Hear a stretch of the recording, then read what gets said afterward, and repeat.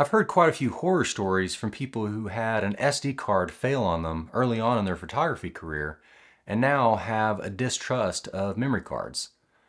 Some even refuse to consider a camera that only has one SD card slot because of that. While I'm not saying that these four tips will prevent data loss, they are generally recognized best practices for data management. So if you're just starting out with an entry-level camera, or if you want to make sure that you're doing everything you can to protect your client's images, then make sure you follow these four recommendations. Also, if you find this information helpful, don't forget to click the like button and subscribe to the channel if you're not already. Click the notification bell if you want to be alerted to any future uploads. So my first recommendation is to buy quality memory cards.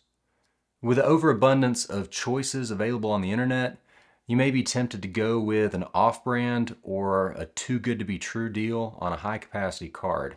The best case scenario if you buy a knockoff or counterfeit card is that you get one that doesn't meet its rated transfer speed and makes you wait on the buffer before taking any more photos or stops recording video after just a few minutes. The worst case scenario would be if the manufacturer faked the capacity, which is a common practice for really cheap, abnormally high capacity cards. And your camera will attempt to write data to it even after it's actually full. This could result in a total loss of everything on the card. So my recommendation would be not only to stick with name brands, but also to buy them from reputable retailers that you trust to make sure you aren't buying a counterfeit memory card. Number two is format the card in the camera it will be used in before any big shoots. So different camera models may use slightly different organizational structures for saving files, and while most modern cameras use exFAT or FAT32 file structures and should be compatible with each other, formatting a card in the camera will be used in before a shoot will ensure that the camera is properly set up to write data to the card and ensure that the block size on the memory card is optimized for maximum performance on your camera. Formatting a card does erase its contents, so make sure you've backed up your files to your computer and preferably to an additional external drive before formatting. Number three is do not delete individual photos in camera. There is a delete button on the camera, but don't do it. This little three inch screen on the back of the camera just isn't big enough to determine if a picture is salvageable or not.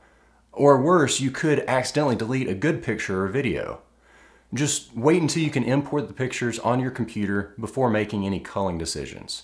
If for whatever reason you do delete a good picture or video, don't record anything else on that card. There's a chance it could still be recovered with special software as long as no new data is written to the card. The last tip is to replace your memory cards regularly. So flash-based memory has a finite number of read-write cycles that each sector can endure. There's not much data out there with real world numbers of the write cycles for consumer grade flash storage or the life expectancy. So just to be safe, I would recommend replacing your primary cards every few years. Now, the life expectancy is based on write cycles. So if you're filling a card every single day, it would be best to replace it more often, like every year. Or if you do photography part-time and only have a gig every few weekends, the card may be reliable for you for a decade or more.